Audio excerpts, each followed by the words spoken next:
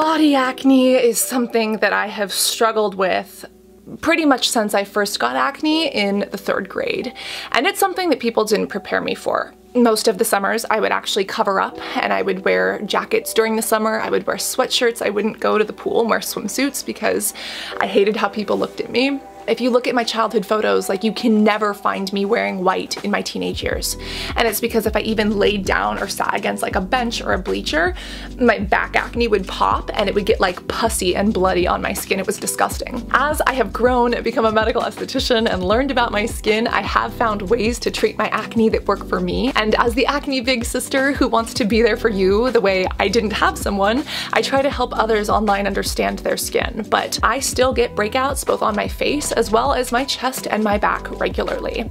And I wanted to share with you my body acne routine and what I do.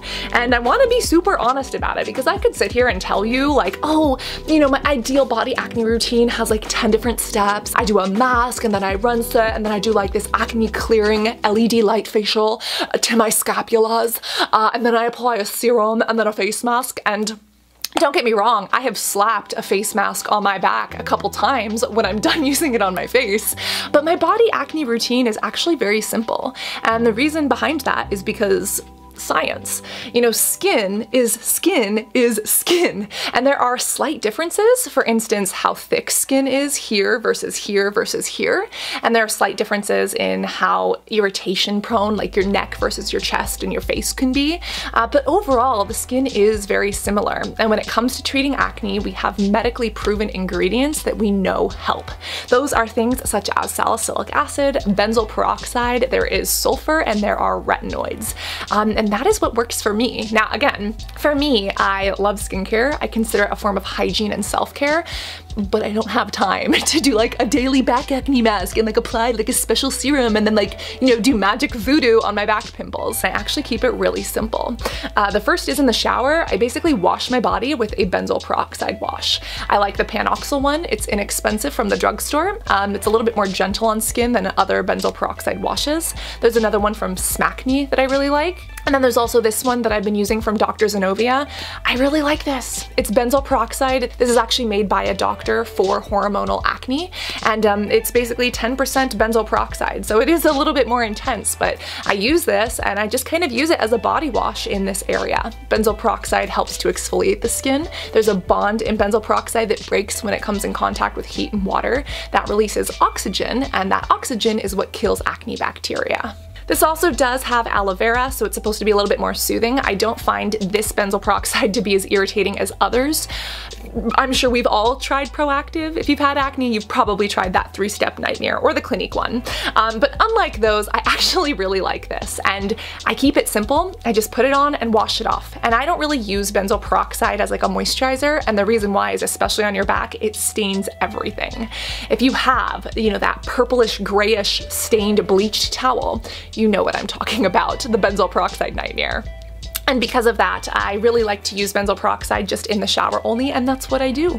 And then I could sit here and apply like multiple moisturizers or things like that. I honestly don't have time, and even the reach can kind of be a struggle. So what I use is just a salicylic acid acne spray. Um, there are two that I really love. This one is from Sandra Lee MD. There's another one from Versed, and both of them are basically salicylic acid. And these come in a little spray form, so you just kind of spray this and mist this onto a problem area and it has salicylic acid that helps to exfoliate and get rid of breakouts.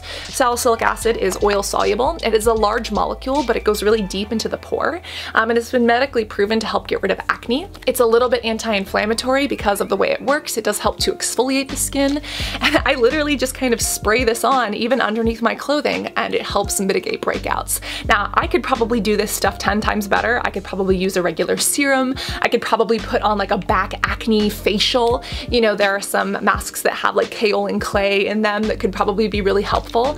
Um, but for me, I've come to the point of accepting my acne, and even though it still bothers me on some days, I don't let it control my life. And anything that I use to treat it is going to be simple and efficacious for me, and not going to take me a million freaking hours in the morning and the evening to take care of. And if I were more diligent, I could probably be better. I also find that my hormones play a role, my stress, my sleep, my diet.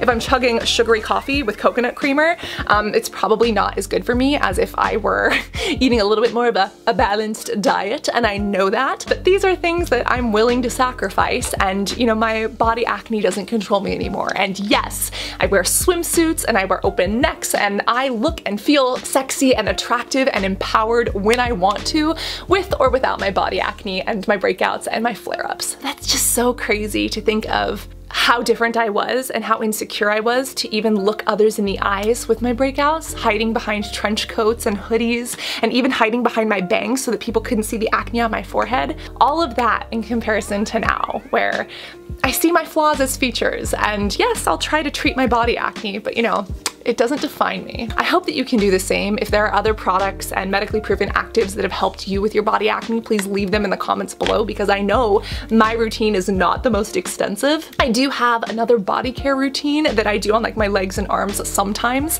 If you would like that, or if you'd like a routine for what my body routine would be if I didn't have body acne, that could be a fun one too. Um, but overall, remember to see your flaws as features. Uh, take me as proof that it's possible to love the skin you're in and do remember to apply SPF to your back if you're going to be in the sun, or even better, wear UPF, like protective clothing that actually protects from the sun. Reapply that sunscreen, stay hydrated, and be beautiful, both inside and out, front and back. I love you beautiful butterflies, and I cannot wait to see you in this next video. Love you guys. Bye.